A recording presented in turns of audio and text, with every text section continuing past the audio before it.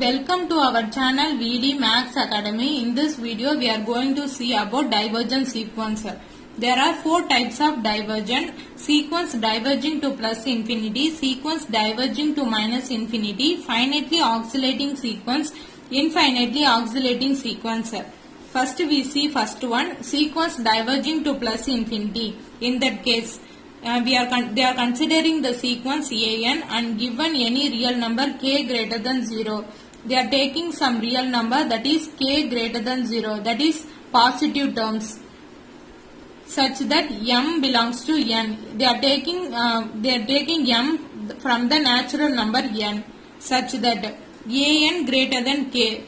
The sequence is bigger than the uh, we assumed real number so an greater than k for all n greater than or equal to m. It can be written in the symbol that is limit n tends to infinity an equal to infinity.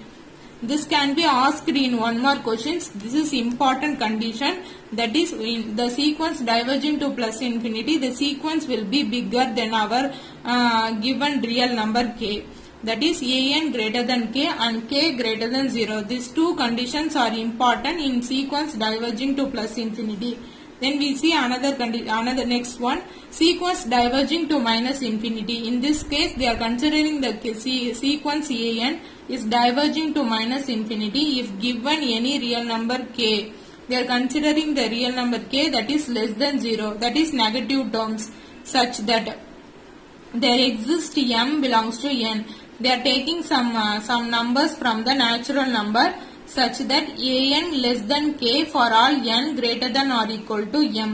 Then limit n tends to infinity an equal to minus infinity. They are giving uh, a sequence diverging to minus infinity means our nth term will be diverged to minus infinity uh, in this this condition are important. The k value should be less than 0 and an less than k. Our sequence will be lesser than the real number k. These conditions are very important in sequence diverging to minus infinity. They are, they are giving some example that is consider the sequence an equal to minus n. In that in that we apply the limit we get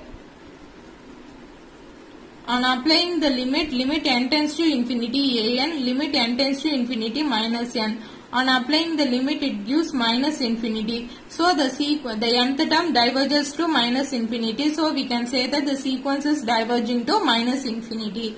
Then we see one problem regarding divergent. an equal to n power 4 plus 3n divided by 4n cube minus 2n plus 1 they are giving the nth term of the sequence and they are asking that it is convergent or divergent.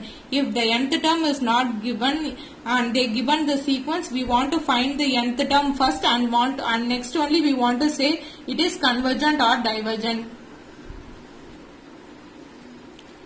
Now we can solve this problem that is solution.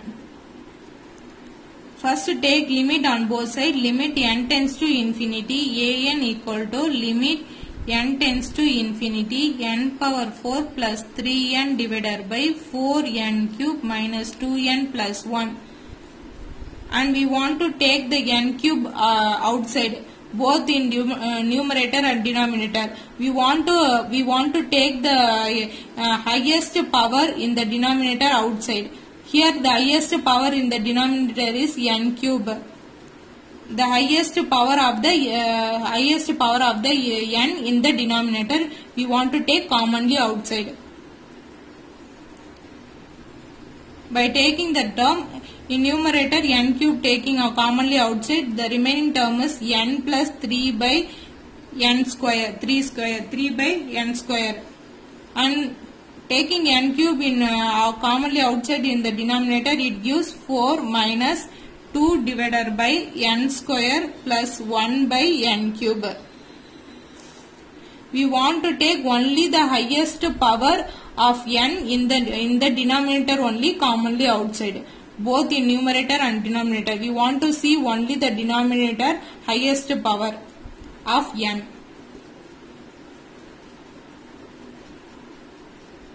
On cancelling the n cube both numerator and in denominator we gives that gives n plus 3 by n square divided by 4 minus 2 by n square plus 1 by n cube.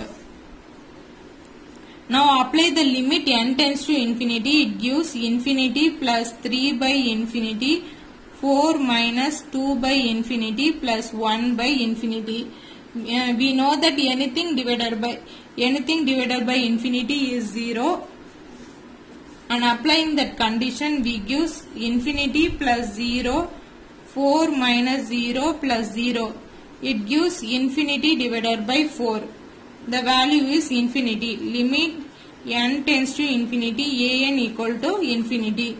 So therefore we can say that an is divergent since it is diverging to the limit infinity. Since the limit is not finite the limit value is not finite then we can say that the nth term and the sequence is divergent. Thanks for watching video